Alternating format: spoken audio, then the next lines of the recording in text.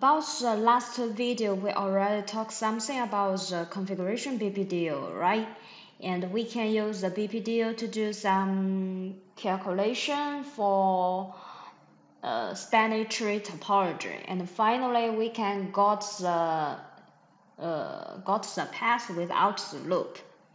And uh, the second function of STP is if in some scenario that uh, the link is broken, we hope the redundant link also can work.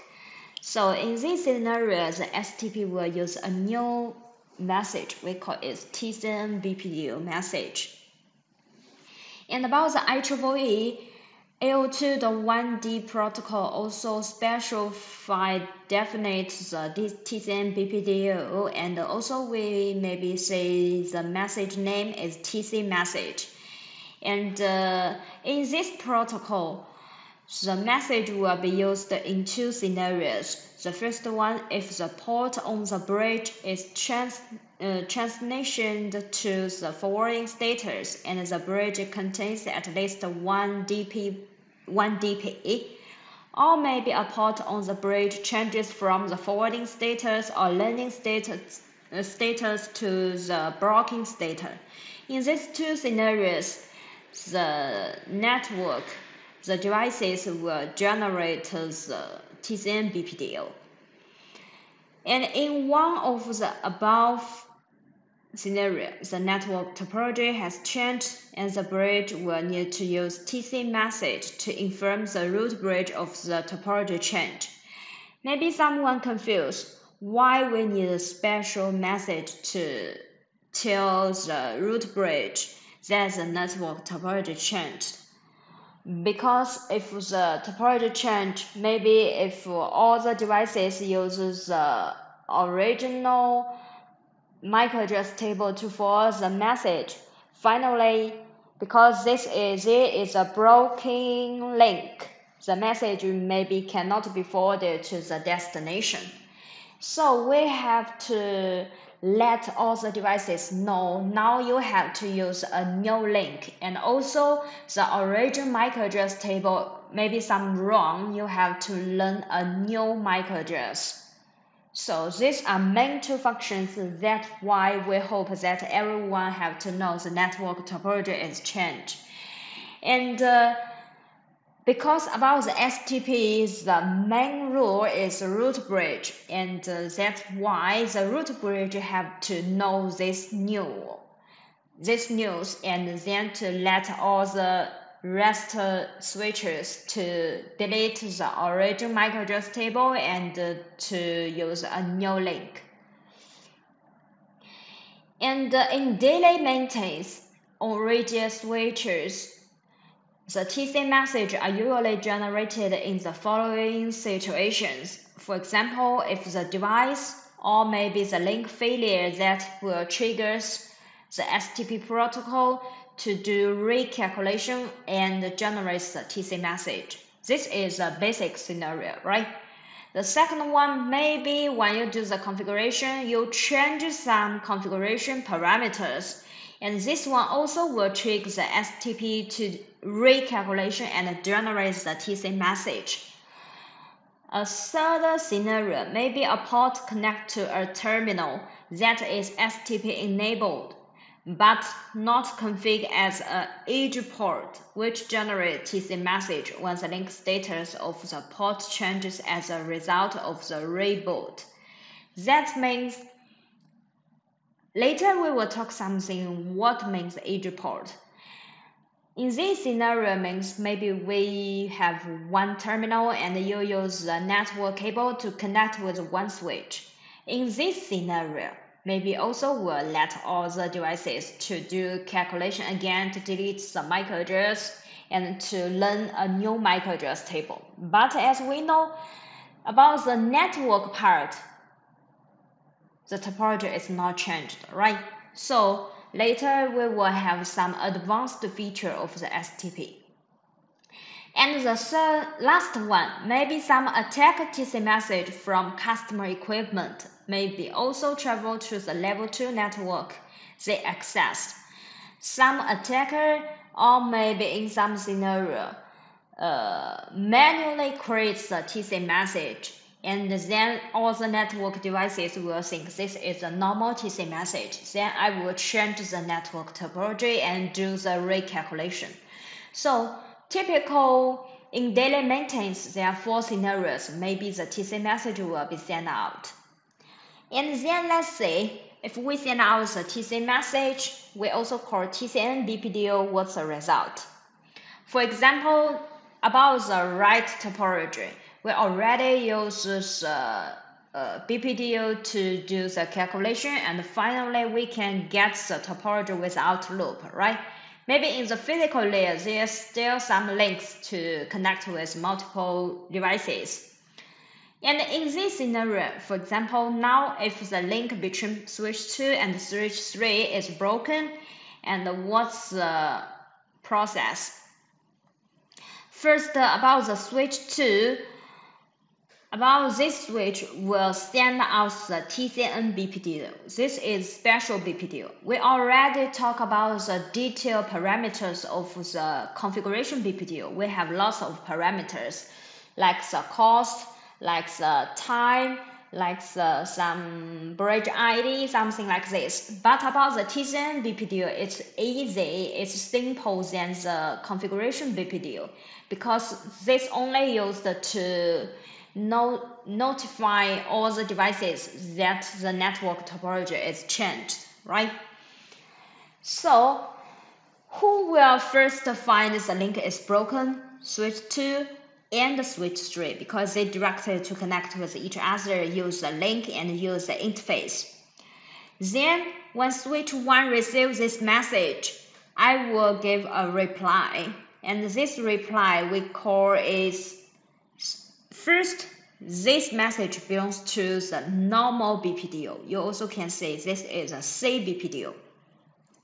But the special one is, do you still remember on the BPDU we have one segment we call it flag and it has one byte long and uh, 8 bits. The special is we will make the TCA bit the position of 1 and uh, this one is a special function to give the acknowledgement for switch 2. Okay, your notification, I already received it. And uh, I will continue to send the, I will continue to do the next step. But pay attention about switch 1. When I receive the TCN BPDU from switch 2, I will not immediately give a reply because we have the time limitation. I have to wait until receive the BPDU from up switch. Maybe in this topology is a root. Two seconds, right? Two seconds later, I will send the normal BPDU for you, but the special one is I make the TCA position of 1. Okay, so this is acknowledgement for switch 2.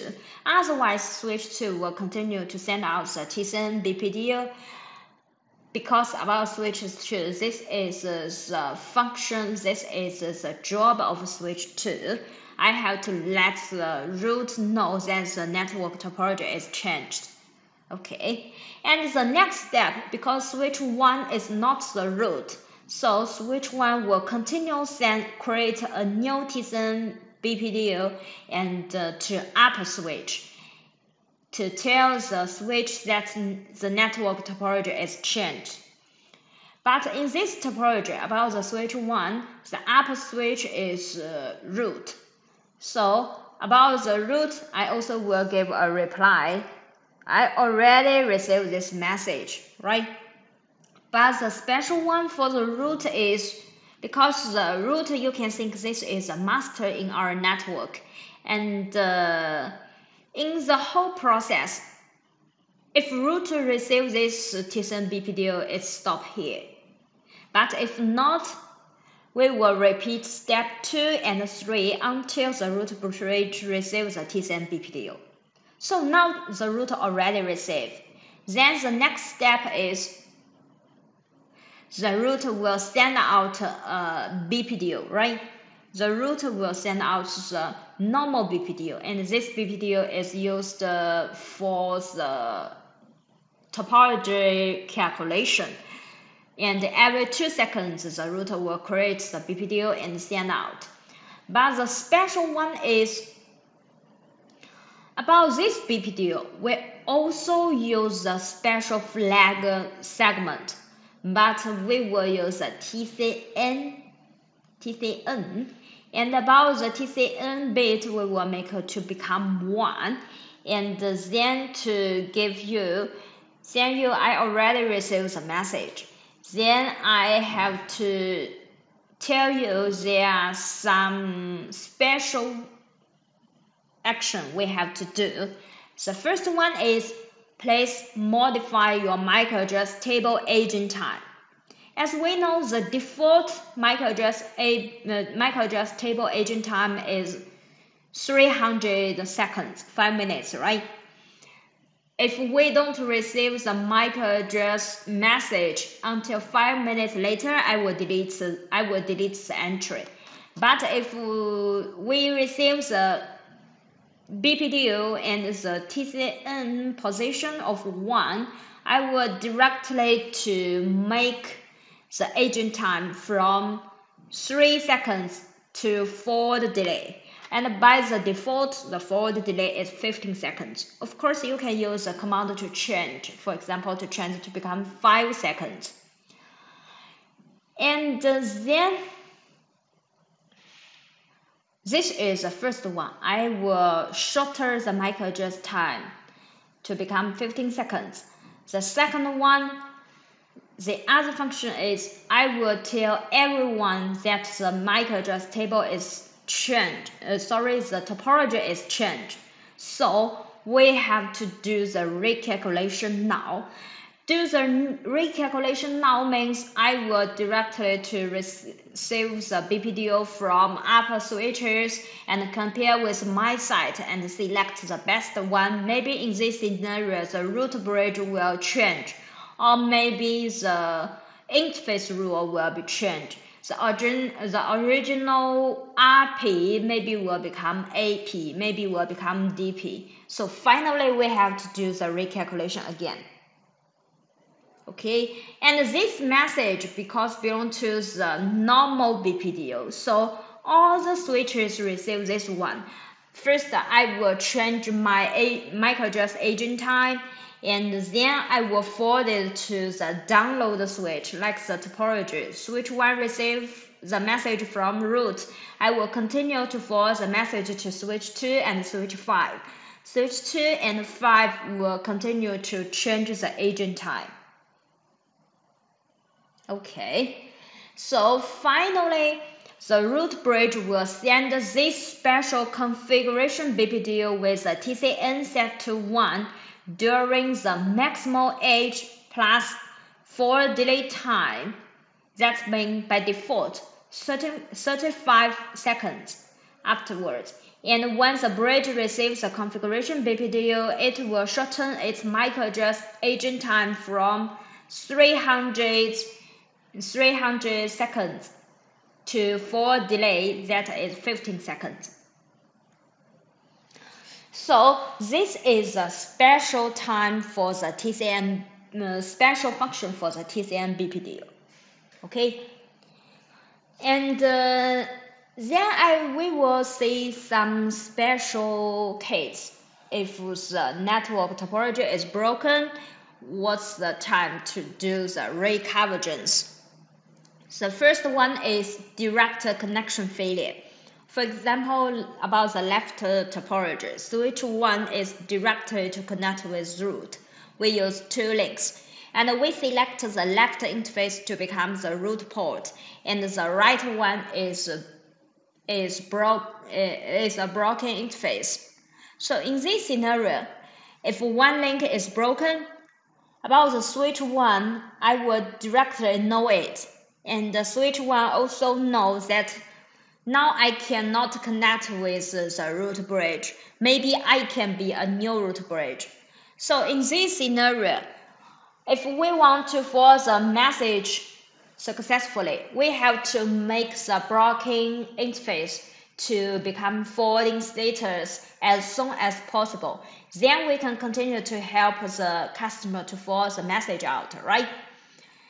And the time is direct link failures. The recurrence uh, requires forwarding delay and uh, multiply to is 30 seconds. So in this scenario, we need 30 seconds, then the blocking interface can be in forwarding status and continue to forward the message out. So this is a time limitation. Someone maybe say, I already know that my blocking interface have to work, have to become forwarding status. Why we still have to waiting 30 seconds? That's because the origin blocking interface now should be a new API, right? But we still have to pass through the intermediate status of learning status and the forward and the listening status. The default time is 30 seconds. And another one, if we non-direct connect with the root, for example, like the topology, switch 1, switch 2, and the root, and we already broke the interface of the switch 2. In this scenario, if the link between switch 1 and the root is broken, what's the time? First one, the switch 1 upstream line is exceptional and sends a BPDU with root ID of its own bridge to switch 2. Because about this scenario, switch 1 will never receive the BPDU from root again, right? So switch 1 will think I am a root. Maybe he will think the root bridge is broken, so I will send out from the other interface to switch 2. I should be the new root bridge. So please do the recalculation again. But pay attention about the switch 2. Switch 2, both interface will have the best BPDU parameters from the root at the first calculation in the, in the topology. So in this scenario, the switch 2 receives a message from switch 1. Switch, uh, switch 2 will think the bridge ID of the root is better than switch 1. So the switch 2 will think you are not the best one. I will ignore it because about the switch 2, the interface the interface is blocking status. In the blocking status, we will never send the BPDU out. So, how long I will find that the switch 2 have to send out the new message, the new BPDU to switch 1 until the max age, right? Max age, I never receive the BPDU from switch 1 because in the origin scenario, switch 1 have to receive the BPDU from the root and 2 seconds later forward the message to switch 2. But switch 2 never receive the best one that the root is the best uh, bridge. Until 20 seconds later, I will find that the switch 1 is not connected with the root. It never does the communication with the root now. So in this scenario, switch 2 will send a new bridge, a new BPDU to switch 1 and to tell switch 1 that we have to do the recalculation again. So the time is maximal age plus forwarding delay multiple 2, totally 50 seconds. So there are two typical cases in the STP. If one link is broken, about the STP, after the recalculation, we can provide the backup link, right? But we have to wait, and at least 30 seconds then you can continue to enable the backup one and then to do the forwarding status to forward the message. So this also is the limitation why in some special scenario we will not use STP because 30 seconds is too long for the network to wait. If your network is not so stable, maybe 30 seconds later, we make the backup one to forward the message. but the links also uh, uh, the link will broken again. You have to wait 30, 30 seconds again. So this is a disadvantage of the STP. And here we talk the basic one of the STP and also includes the normal BPDU and the TCN BPDU. And the next video we will talk something basic configuration of the STP.